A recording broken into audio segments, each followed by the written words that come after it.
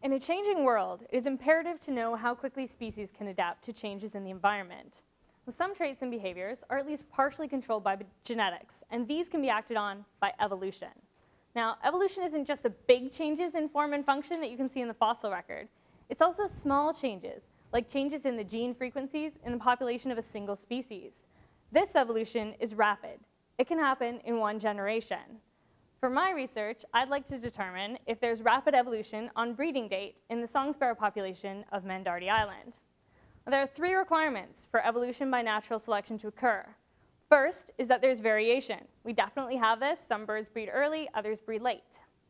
Second is that there are fitness differences associated with this variation. For example, early birds have more offspring. Together, these two components, variation and fitness differences, are called natural selection. The third requirement for evolution to occur is heritability. So there has to be some genetic component that is passed from parents to offspring.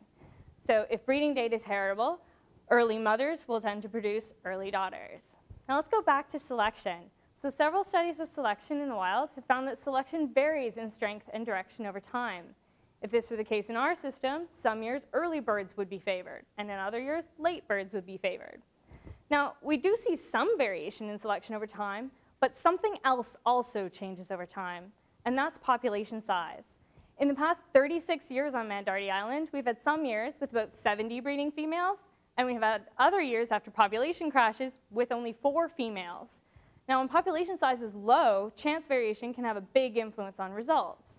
So most of the variation that we see in selection is actually due to chance and changing population size. Although we don't have much variation in selection, we do have consistent selection. So birds that breed early do produce more offspring because they're able to have more successful nests in a single year. And these chicks that hatch early are also bigger when the next winter comes, so they're more likely to survive the winter and become breeders themselves the next year. Surprisingly, there isn't a survival cost to these parents for this high level of reproduction. Now, this could be due to something in the environment or some effective territory quality, so that's what I need to explore next. I need to determine if breeding date is heritable.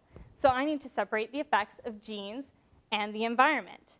Since we have pretty consistent selection for early breeding, if it is heritable, we would expect the genes for early breeding to increase in the population. And then we would have rapid evolution. Thank you.